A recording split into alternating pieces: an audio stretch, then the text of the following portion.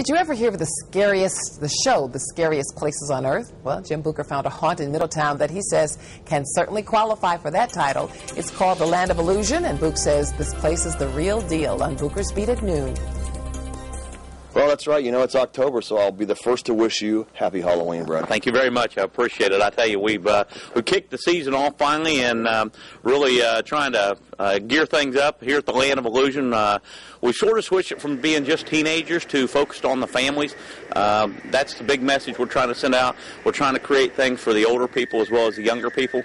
So uh, things are going real well, though. Uh, really surprising seeing how many people are starting to get into Halloween early. A lot of people are talking about Land of Illusion now more than ever, I think. People are like, hey, have you heard it? And the word's getting out there. But for the folks that don't know, how do you describe your place? You know, it's a Halloween theme park. Uh, there's four events. We've got uh, Dr. Psycho's Haunted Estate, uh, the Temple of Terror, uh, the Middletown Haunted Trail, which is uh, what we originally started. It's uh, probably about a good half an hour hike, so it's almost nine tenths of a mile.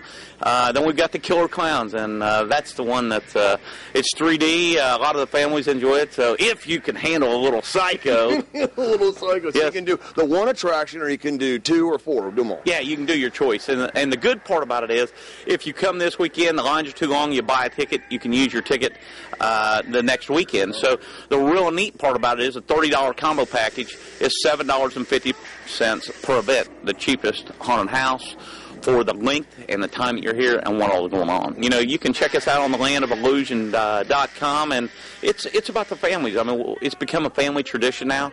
Uh, we started really picking up this past weekend. That's the thing. I mean, get out now while you can. Uh, the, the later it gets, the, the bigger the lines get. But we also do have a new express pass.